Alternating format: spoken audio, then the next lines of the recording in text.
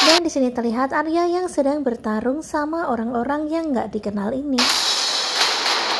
Diam.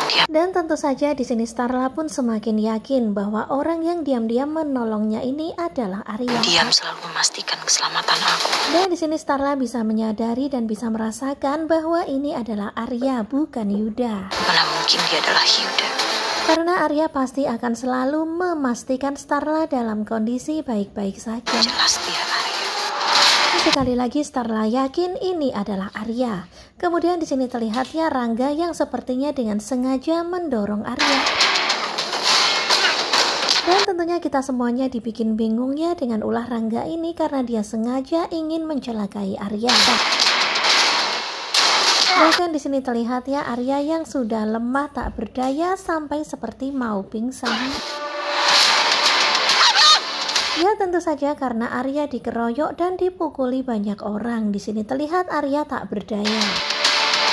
Starla itu semalam hilang dan sampai Kemudian di sini terlihat orang-orang itu pun akhirnya pergi membawa Arya. sekarang tidak bisa ditemukan. Sementara itu di sini terlihat ya Pak Fondi yang lagi bingung mencari Starla dan dia pun bertanya pada Menurut Ayumi. Pak Ben dan juga Rina, Dan tentunya dikeroyok seperti ini, Ayumi pun jadi bingung ya mau jawab apa. terakhir yang terlihat bersama Starla itu adalah kamu. Apalagi di sini sudah ada saksi mata yang melihat waktu itu Ayumi bersama Starla. Naik taksi. Jadi kalian itu sebenarnya Dan ke mana? di sini terlihat ya Pak Fondi bertanya kepada Ayumi dengan penuh kesabaran, sementara Ayumi hanya terus menangis. Itu di sini terlihat ya Tante Elva yang sedang bersama Niko dan di sini terlihat Tante Elva yang sangat kaget. Rian, akhirnya aku bisa melihat wajah kamu lagi, Ya Mas. tentunya Tante Elva kaget ya ketemu mantannya yang waduh waduh. Jangan kamu pikir saya nggak lihat. Kemudian di sini terlihat Starla yang lagi ribut sama Rangga. Tentunya Starla sangat penasaran ya sama Rangga. Coba dorong suami saya, Arya. Apalagi tadi terlihat ya kalau Rangga memang sengaja mendorong Arya ke penjahat itu. Penjahat-penjahat. Sampai penjahat-penjahat itu pukulin Arya sampai pingsan. Dan tentu saja Starla pun jadi bingung ya sebenarnya Rangga itu siapa dan berpihak kepada siapa. Dan mereka bisa bawa Arya pergi.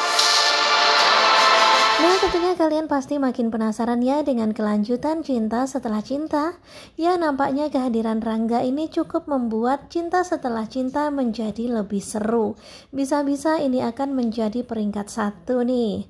Ya tentunya peran Rangga ini memang sangatlah penting ya karena dia sepertinya memang bisa membawa suasana baru di cinta setelah cinta. Nah, jangan lupa ya saksikan kelanjutannya nanti hanya di SCTV dan jangan lupa terus dukung Shiva Family.